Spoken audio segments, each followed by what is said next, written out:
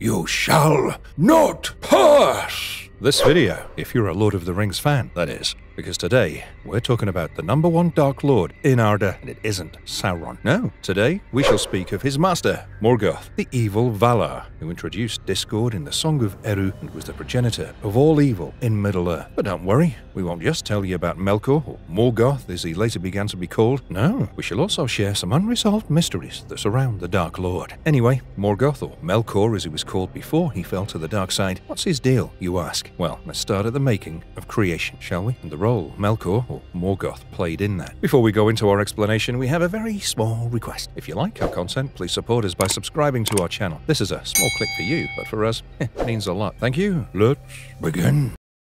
Melkor to Morgoth, the journey of a Valar gone wrong. Melkor, later named Morgoth due to how evil he became, was one of the most OP Valar. While the other Valar were specialized in their fields, Eru had made Melkor the most knowledgeable. Yet Morgoth was lonely as he struggled against the void outside of Eru's created lands for the Valar, aka the Timeless Halls. And so he ventured into it looking for the flame of Eru, also called the Flame Imperishable, without realizing that since the flame is born of Eru, it rests within him. There's a philosophical lesson there. While Mahal, or the smith, struggles, led to the creation of the Dwaro, Melkor's ventures into the void cut him from the other Valar and Maiar, making him think thoughts that weren't exactly in line with goodness. Is Professor Tolkien commenting on loneliness and how that can lead to isolation, frustration, or is he vilifying those who go against the grain? Probably the first, considering he writes and loves hobbits who break the peace of the Shire by going on adventures that make them late for dinner. All this came to a head when the Ainur, that is the Valar and Maiar, sang the great music in front of Eru. Melkor's discord was such that at first it divided the song into two, which also had Manwe, Melkor's brother, as the correction. But then when the discord continued, a completely new theme, that of the elves and men, was introduced. Still, the discord remained, corrupting the very fabric of reality. And that's when Eru, to put it mildly, lost it. I mean, Manwe's theme was snuffed out by Melkor's discord, and even elves and men couldn't fully remove it. So it makes sense that Eru would remind Morgoth of his place and tell him that even his evil would eventually turn to Eru's grace because Melkor was born of Eru. Another philosophical statement by the professor, though this seems to have hints of theology. What do you think, fans? Have you flooded the comments with discourse yet on whether Morgoth was wrong or just different? Here's the thing Melkor was shamed by Eru's rebuke, but then when Eru Iluvatar revealed that the great music was creation, then he grew interested in Middle Earth and came there. But how powerful was this Valar in Middle Earth? Let's dive right in.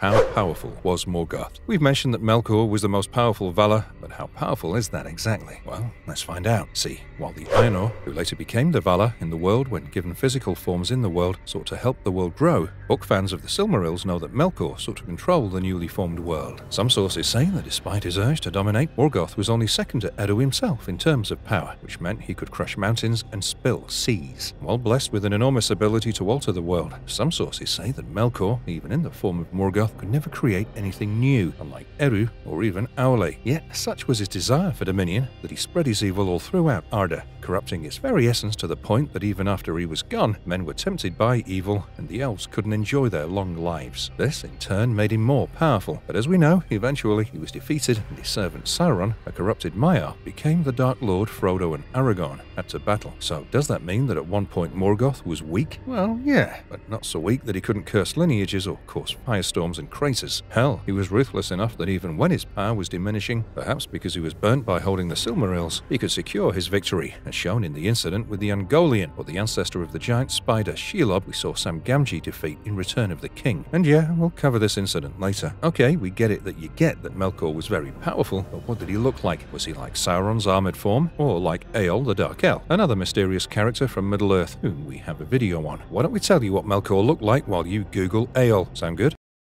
Hmm. Melkor or Morgoth's Instagram page would contain something that fans love to discuss, aka a big question mark on whether or not the Valar had a physical form, and if he did, what did that look like? So, we at Marvelous Videos ventured into the bowels of the internet to find out what Tolkien fans think of the issue. While many agree that it's likely the character changes when he, uh, to put it in biblical terms, fell, and that he was once fair, what he looks like at the end is a matter of speculation. Initially, he seems to be described as a mountain that waves in the sea and has its head above the clouds, and is clad in ice and crowned with smoke and fire. It's also stated that the light of the eyes of Melkor was like a flame that withers with heat and pierces with a deadly cold. Just like Sauron, he seems to have assumed a fair form for trickery and then lost many of his divine features as he fought the other Valar. In their place, he got a majestic but evil appearance. Others have said that the professor himself described Melkor as a terrible elf man who was probably dressed like Eöl, the Dark Elf. So we know that his form is a matter of speculation, despite there being some canon evidence. Yet, do we know the same about how big or small Morgoth was? Let's see.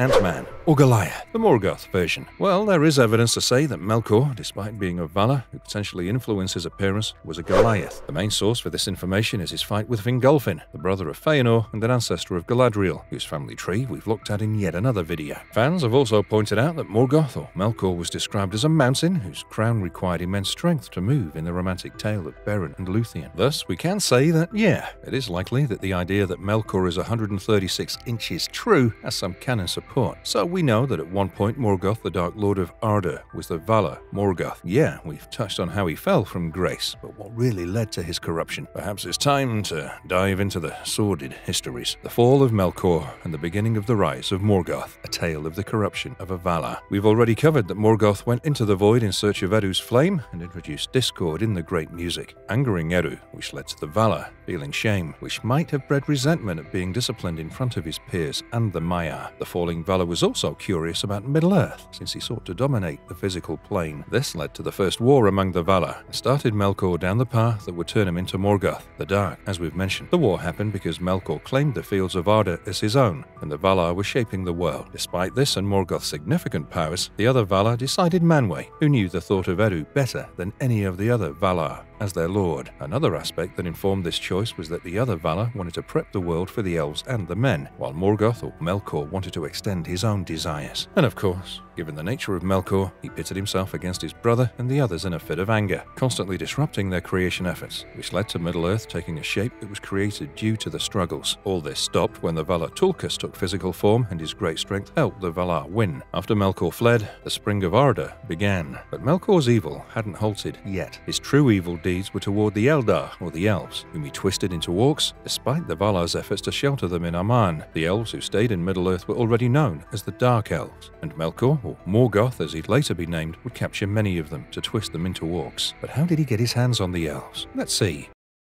Melkor's corruption of the firstborn of Eru Iluvatar. It all began after the spring of Arda and the arrival of the elves. Once Melkor fled Arda, the other Valar began shaping the world to welcome the elves, the first children of Eru. For the same, they created two lamps, perhaps a reference to C.S. Lewis's Narnia, and created a home for the elves in their light. While the Valar were busy with these, Melkor returned to Middle-earth, and by now he'd gathered a following of corrupted Maiar who were in accordance with his song. They were, of course, Sauron and the Balrogs. Together, they settled in the north northmost part of Middle-earth, and the fell place was named Utumno by the Dark Valar. And yeah, we know you're wondering how this is related to the elves and the orcs. We're getting there, but let's set the scene first. So there, we have it, a great fortress in the north, which Melkor had raised the Iron Hills to defend. Yes, the same Iron Hills the Dwaro would eventually take back for the free people of Middle-earth, and where Dáin Ironfoot will ride into battle from. It's the Iron Hills for me. Anyone? Of course. The stench of such evil like Melkor and the Balrogs can't be contained, but before the Valar could take care of Melkor's new hideout, he brought unexpected war to their doors and destroyed the Great Lamps. This led to what Billy Butcher from The Boys would call scorched earth, and after they'd taken care of that, the Valar essentially abandoned Middle-earth and instead created Valinor, or the Undying Lands. Why is this important? Well, because now Melkor could do as he pleased on Middle-earth, and by extension, to the firstborn, who couldn't or didn't heed to the call to Valinor. The Avari, for one, stayed back in Middle-earth. Yep, Legolas's people. And while Melkor was busy expanding his darkness and decay by building fortresses like Angband for Sauron, the other Valar stayed back, afraid that another clash would result in massive destruction, and who wants the children of Eru to wake to that? It's not like Eru had given them a timeline of when the elves would wake, yet this caution would prove to be the Valar's mistake, because a Middle-earth that Melkor had free reign on is also one where he'd find the elves before any of the other Valar. So, does that mean that this is where the Noldor were corrupted? We remain unsure. But while there are many origin stories of the Orcs, one does say they were a twisted image of the Elves, and since we know Morgoth Morgoth couldn't create, only twist, it's likely that he took elves and twisted them. Yet we know for sure that while Melkor might have happened upon the elves first, the other Valar had issued the call for the elves to come to Aman. And once they knew that the firstborn had woken up, Odome and the Valar rent his fortress doors open and chained him. Yet in their haste to capture and contain the evil of Melkor, they forgot to take care of Sauron, the Balrogs, and other fell creatures Melkor had at his disposal. So yeah, while we know Morgoth had plans to corrupt the elves and create the orcs, it's one of the mysteries that surround the Dark Valar.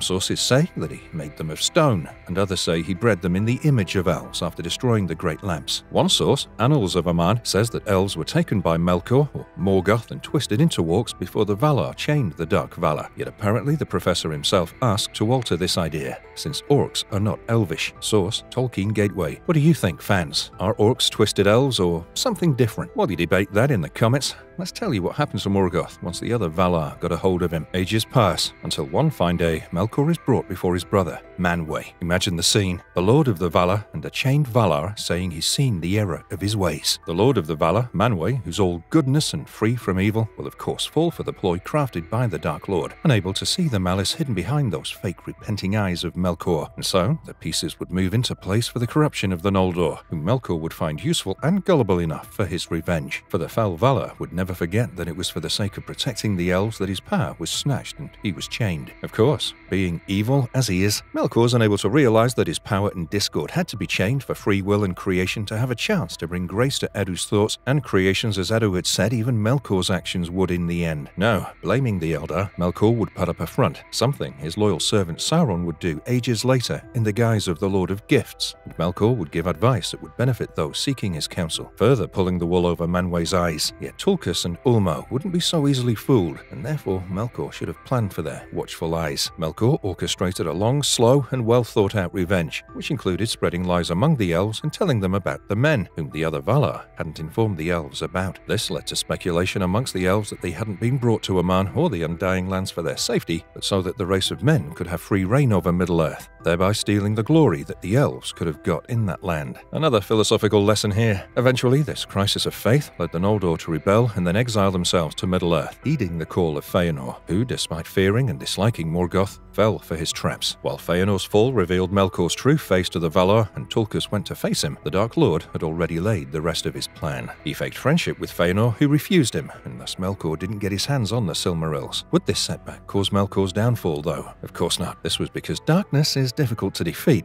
and when Morgoth looked for allies, he chanced upon a giant being who was willing to help evil thrive. And to be honest, there's a reason that there's speculation that Melkor wouldn't have been able to take down the twin trees of Valinor without the help of said giant spider. But how did that all pan out? And was it planned or incidental? It's time to take a deep dive and explore that after a quick hydration break when we remind you to subscribe for more Tolkien content if you haven't already.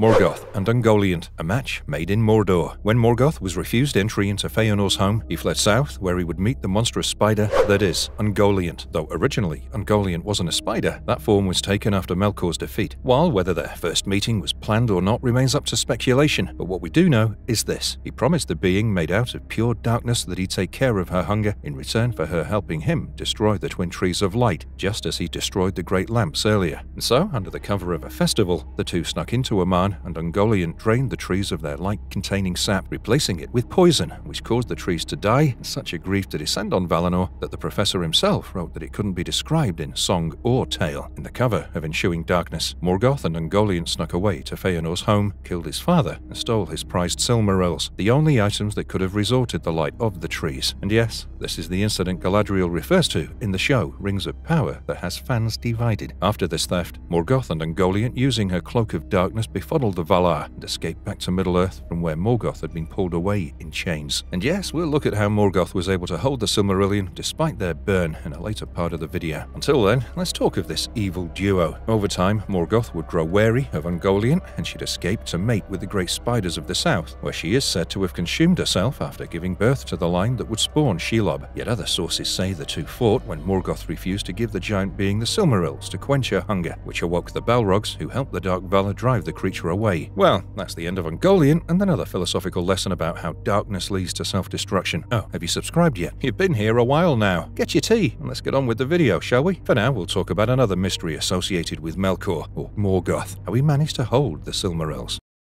How can Morgoth steal the Silmarils without the gems injuring him? Renamed to Melkor, explained. Did you know Feanor is the one who renamed Melkor to Morgoth, showing his fall was complete because that happened. Essentially, after killing Finwë, Morgoth escaped to Middle-earth, where he'd set the Silmarils in his crown and wage a war against the elves. Around this time, the men and Dwaro would mate, and Morgoth would try and corrupt the men to his ends. While we do know that he'd eventually lose one of the Silmaril to Beren and Luthien, and the rest in the war. But before we look at his defeat, let's solve the mystery of how he could hold the Silmarillion, and why that's an issue in the first place. A quick recap, the Silmarillion, or the gems of Feanor, were gems that Elfsmith had created that had light. His inspiration? The light of the twin trees on Galadriel's hair. They were coveted by Melkor, perhaps because they alone could restore the light of the Valar after the great lamps and the twin trees were destroyed by him. Also, they were a marvel of beauty, so there's that. But why wouldn't Morgoth be able to hold them? Essentially, due to the blessings of Varda, the Silmarils burn the hands of whoever touches them, despite being unworthy of them. Kinda like Thor's hammer. And since Morgoth was evil, and also stealing these, well, he got burnt. Perhaps this is why it's a question of how he was able to hold on to them, because they were burning him till he reached his fortress in Middle-earth. Our speculation? He's just that powerful. Yet this tainted the Silmarils forever, which is why perhaps they were cast in places no one could reach, like the depths of the sea or the sky itself. But uh, that's for another video. For now, let's explore Melkor's echoing scream, shall we?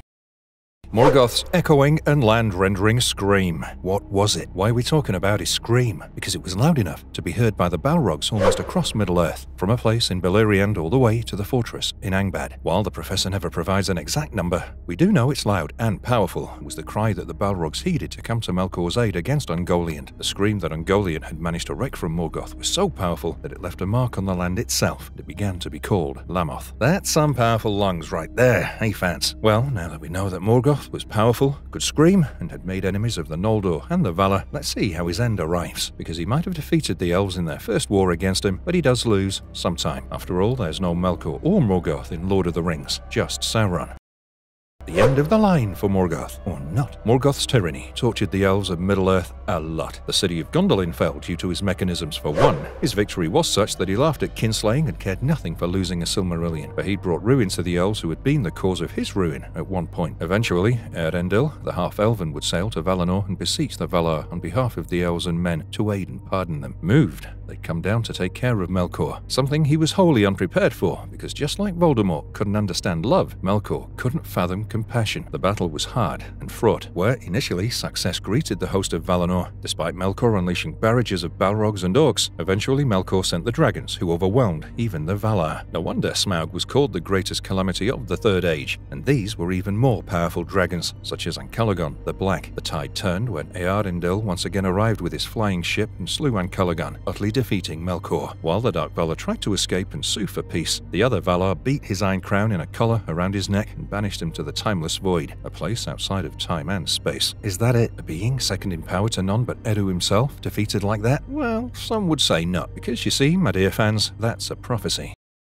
Is Melkor ever going to come back, or is that just a myth? Well, not only was Sauron hailed as Melkor returned, but he likely modelled the concept of the One Ring after Melkor. For you see, the Dark Valar had used the whole of Middle-earth to store his essence, and thus some say that he could reach from the timeless void and whisper in the eyes of the children of Eru to tempt them to do evil. He is the evil sowed in the hearts of men and elves. But that's not all. There's also some writing published by Christopher Tolkien himself, where the Professor J.R.R. Tolkien hinted that at the end of the days, Melkor would break back into Middle-earth to initiate the Battle of the Battles, where with his death, both men and the children of Hurin, whom he cursed to damnation, would be avenged. So yes, it appears that Middle-earth is just waiting for the return. As the bard said, something wicked this way comes. Or not, because right now you have a sweet parting note to look forward to, aka a marvellous review. Well, looks like Melkor was one storied character with a lot going for him. Is he supposed to be Lucifer? That's the question we keep asking. A favoured being falling from the grace of what's essentially the All-Father figure in the Tolkien verse could be seen as a metaphor. And he did turn to evil, but Melkor's story has a lot more to it. The professor seemed to hate the idea of evil for evil's sake, and often showed how evil takes a foothold in the world. Perhaps we should view Melkor as a cautionary character and see what happens when we go too far without considering the impact of our actions on others, especially when the motivation is greed or lust for power. Maybe Melkor could have been the greatest Valar had he taken a moment to pause and understand what Eru tried to teach him. He was a part of Eru, and the flame imperishable was within Eru itself, as it too was part of the same whole. Not something to be sought outside or with power, but something that he just had. What do you think? Let us know in the comments. And if you liked our content, don't forget to leave a like and subscribe to us if uh, you haven't already. Have a good one and be safe.